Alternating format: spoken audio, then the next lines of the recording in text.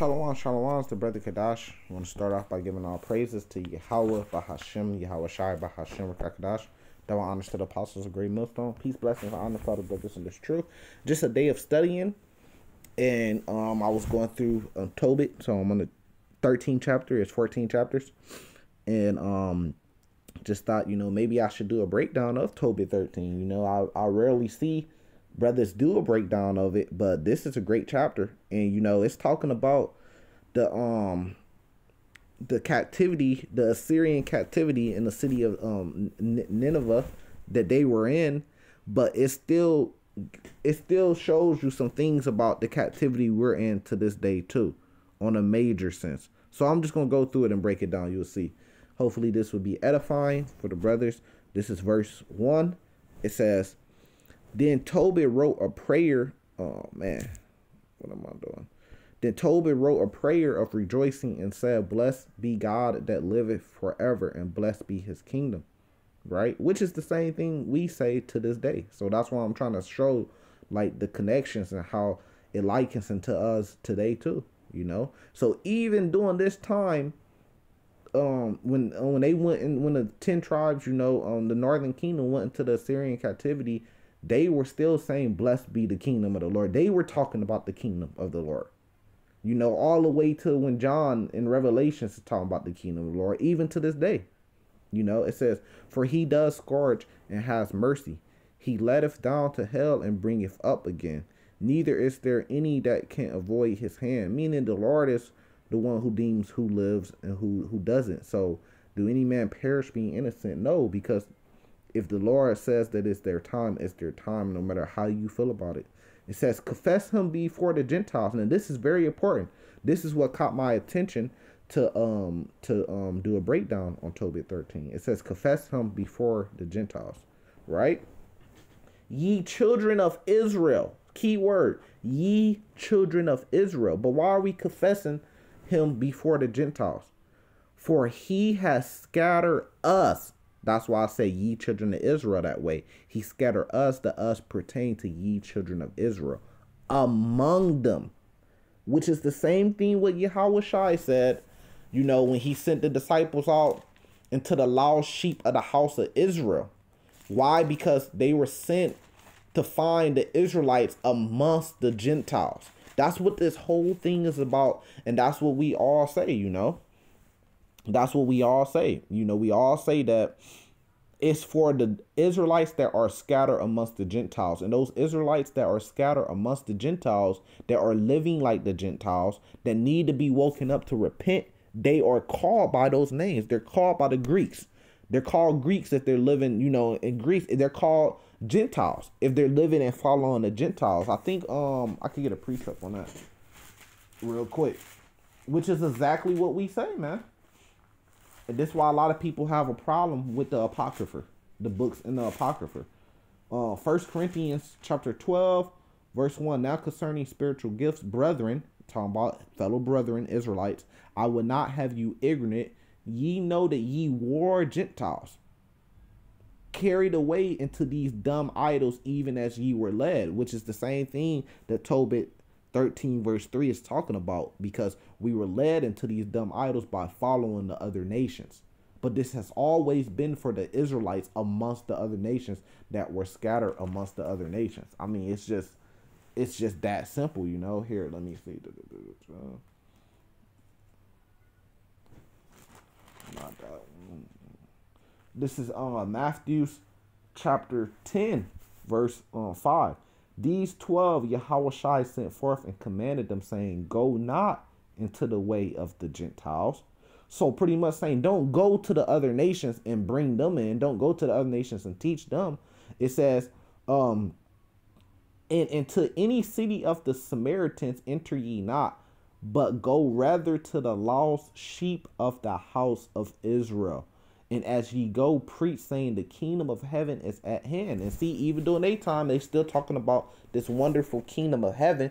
But the point is, is to go to the lost sheep of the house of Israel.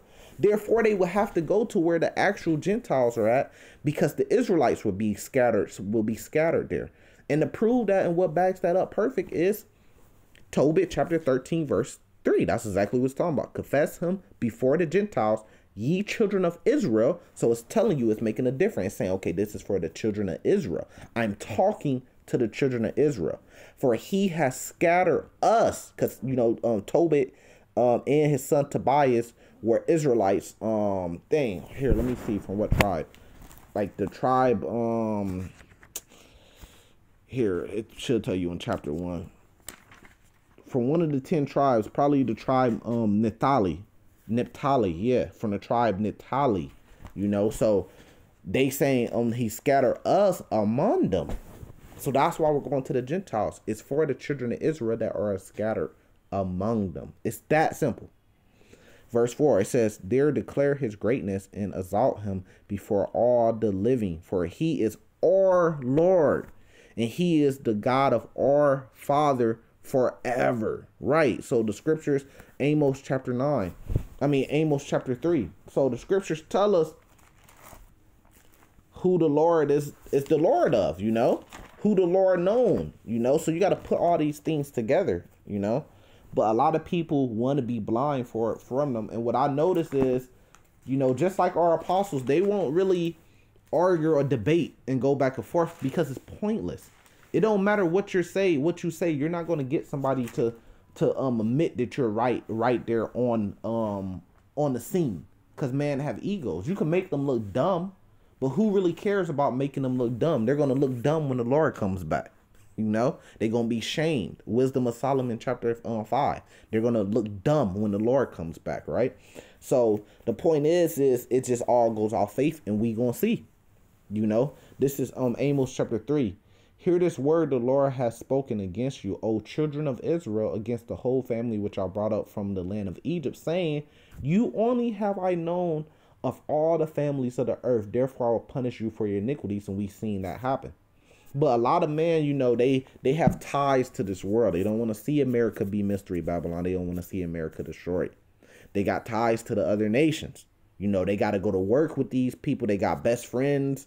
They got women that they're dealing with, the other nations. So they have emotional ties. So they so they're clouded by those emotional ties to this world. So they don't want this place to be the wicked. They don't want these people to be the wicked. They don't want it to be for Israel only. They want other people to be able to say because they have their personal ties.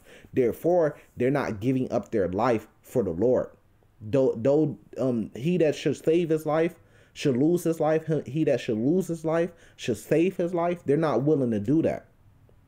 You know, because that so therefore they're going to always go with the doctrine wrong or right that includes the other nations but let's keep going it says dare um, declare his great his um, greatness so uh, we scatter amongst the other nations we're declaring his greatness we exalt him before all the living for he is our lord it didn't say for he is everybody's lord it says he is our lord that's possessive um and he is the god our Father forever. It says, and he will scourge us for our iniquities. We just read about that in Amos chapter 3. Perfect precept to go with that, which tells you this whole thing is only for the Israelites. And will have mercy again and will gather us out of all nations. Among them he has scattered us. So this gonna be a decent little breakdown because I'm I'm actually gonna take the time to break it down. This is um Deuteronomy chapter 28, you know that it was talking about the Israelites. You know, if you if you hearken into his word, all these blessings. If you don't, then all these curses should come upon you. Um, here, let me see where.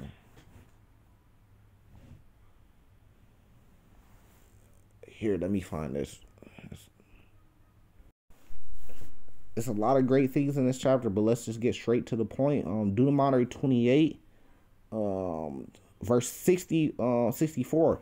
And the Lord shall scatter thee among all people from one end of the earth even into the other, and there thou shalt serve other gods. That's what made us Gentiles.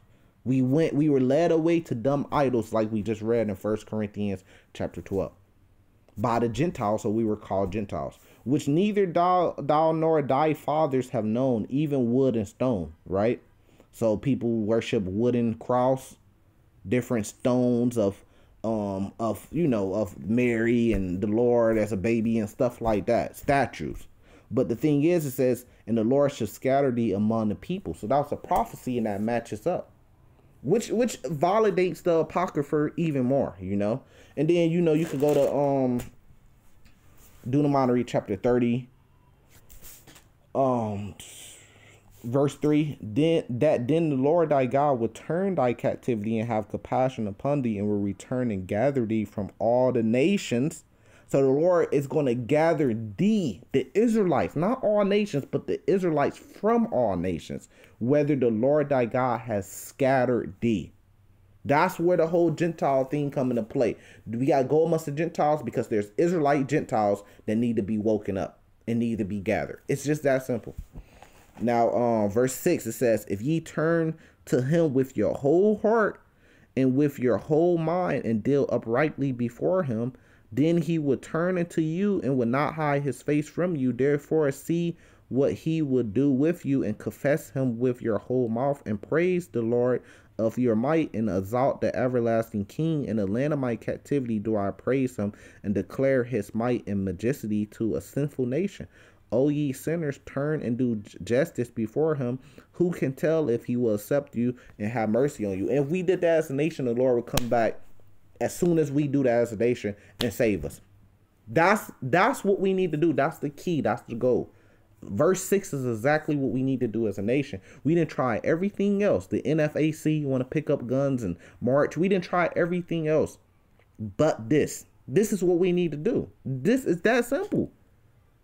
But it's, you know, it's all prophecy at the same time, you know, which Deuteronomy 30 pretty much says the same exact thing, you know. But prophecy, Deuteronomy 30 is a prophecy, so it will happen at some point. Verse 7 I will exalt my God, and my soul shall praise the King of heaven, and shall rejoice in his greatness. Let let all men speak and let um and let all praise him uh, for his righteousness. O Jerusalem, the holy city, he will scourge thy for thy children works and will have mercy again on the sons of righteousness. Jacob's trouble, Jeremiah 30, starting at verse 7. Daniel chapter 12 is going to happen, you know. It says, um, Give praise to the Lord, for he is good, and praise the everlasting King, that his tabernacle may be built in thee again with joy, and let and let him make joyful there in these indeed those that are in captivity and love thee forever those that are miserable. So um and praise the everlasting king, his tabernacle may be built in thee again. So what that um reminds me of, which I think one of the elders just did a breakdown of um of this chapter. Man, come on. How do I just skip past the whole book of Amos? Um Amos chapter 11. Um chapter 9 verse 11 says in that day will i raise up the tabernacle of david that is fallen and close up the breaches thereof and i will raise up his ruins and i will build it as um as in the days of old. So this just proves even more that the apocrypha is biblical.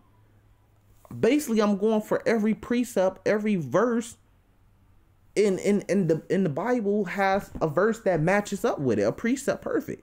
So you can't possibly say, at least for Tobit chapter 13, that it's not biblical, you know? But it's just showing you that I'm bringing these precepts just to show you that I'm giving you the correct breakdown. Um, verse 12, that they may possess the remnant of Edom. No, some Edomites are going to be saved with us. No, we're going to possess the Edomites.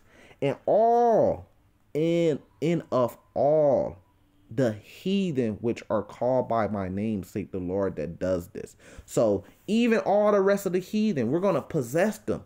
They're called by the name of the Lord, Zechariah chapter 14, because all nations is gonna have to follow the Lord, follow the law, statutes, and commandments. All nations, everybody on earth is gonna have to. You're not gonna have a kingdom where people are gonna be serving other different gods and stuff like that. They're gonna be punished. They're gonna have to follow the Lord. So just because it say that they follow the Lord, they call by his name or something, what does that have to do with salvation? What does that have to do with inheritance of the kingdom? That's only for the Israelites. But the other nations are going to have to uh, follow the Lord too. And they're going to rejoice. Why? Because when the righteous are in rulership, they're going to rejoice and they have judgment coming from them. Like we just read in Amos 9, verses 11 and 12. They have a judgment, they have a punishment. After their judgment, after their punishment, they're going to rejoice as long as they follow the law, statutes, and commandments.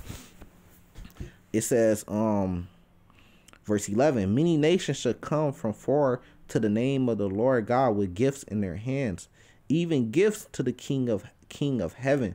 All generations shall praise thee with great joy. So, just like I just explained with um Zach here, let me matter of fact, let's just go to it. Because little brother, brothers be like, look, see, anybody could be saved. No, that's not what that means. Many nations should come for, um, forward to the name of the Lord God with gifts in their hands, even gifts to the King of heaven. All generations should praise thee. So it's showing you there's a difference because they gonna praise us with great joy and praise our Lord. Um, Zechariah 14, verse 13, and it should come to pass in that day that a great atonement from the Lord shall be among them, and they shall lay hold everyone um on the hand of his neighbor, and his hand shall raise up against the hand of his neighbor. And Judah also shall fight at Jerusalem, and the wealth of all the heathen round about shall be gathered together. Same thing. The, um from um many nations, verse eleven, many nations shall come from far to the name of the Lord God with gifts in their hands. All they wealth, right? Um, back in uh, Zechariah 14, verse 14. Um, and the wealth of all the heathen round about shall be gathered together, gold and silver and appear in great abundance.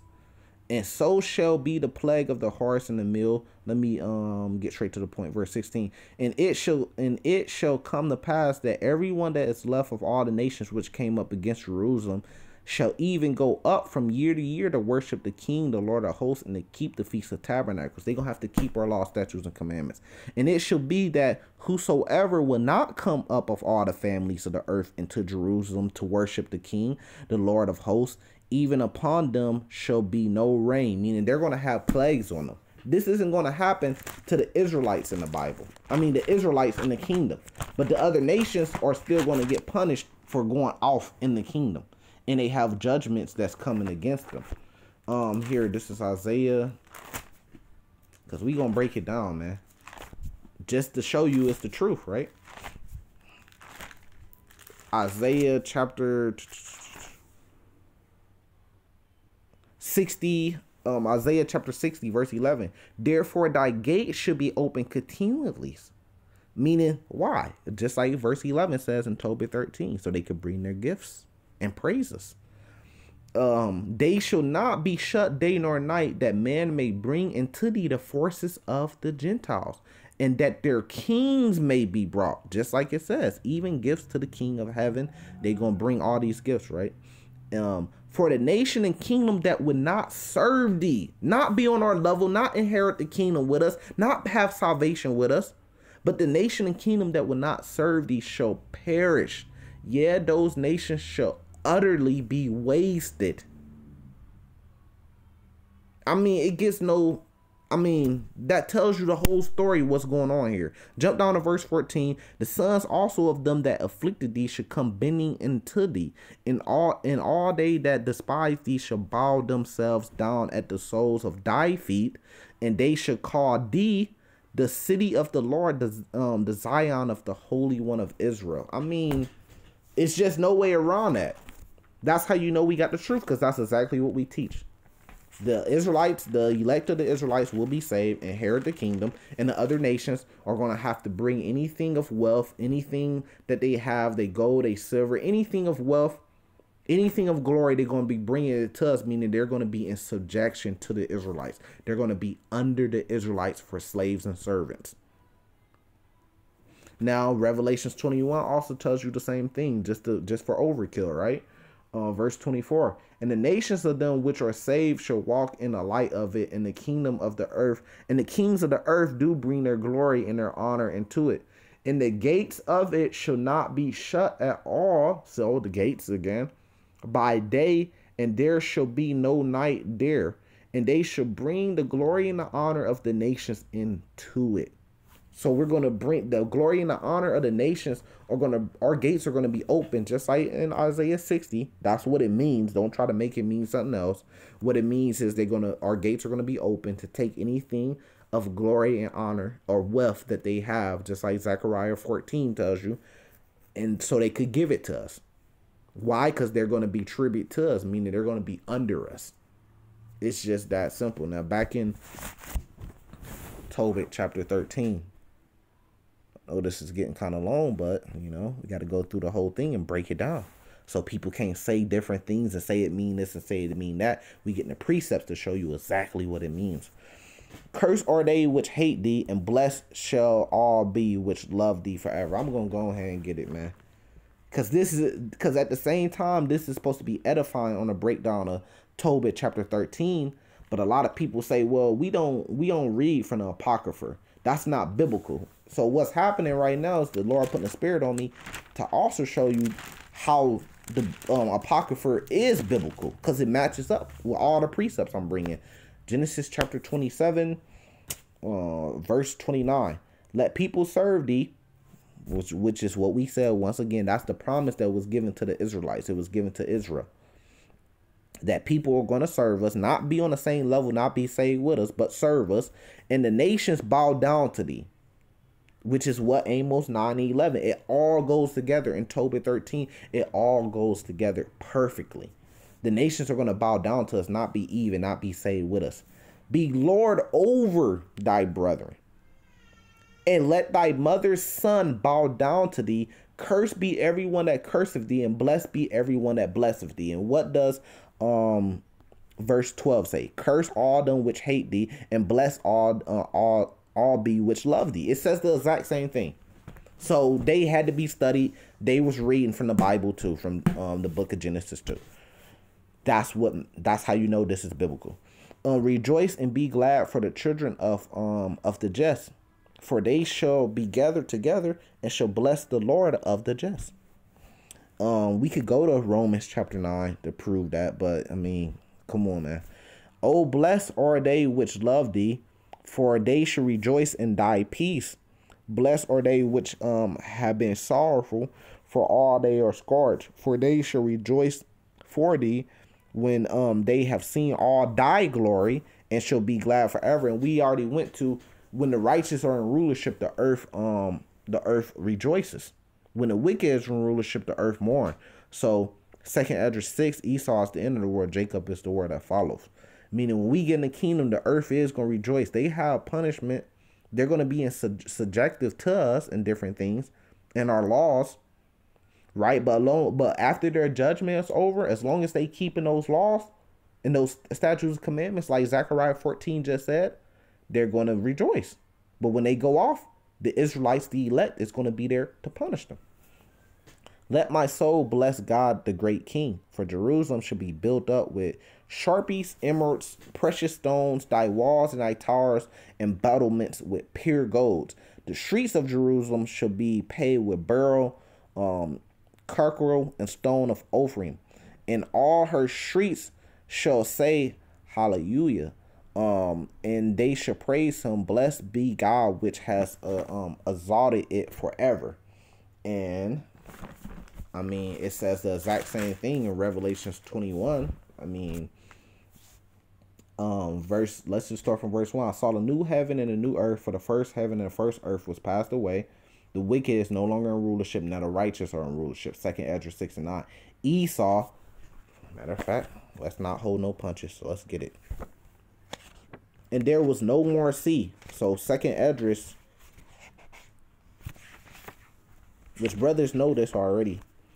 Second Esdras chapter 6, verse 9. For Esau's the inner world, Jacob is the beginning of it that follows, meaning it's a new rulership. And I, John, saw the holy city, New Jerusalem, talking about the Israelites, coming down from God out of heaven, prepared as a bride adorned for her husband. To prove that even more, you could jump to verse 12. It says it had a wall. It's talking about the kingdom.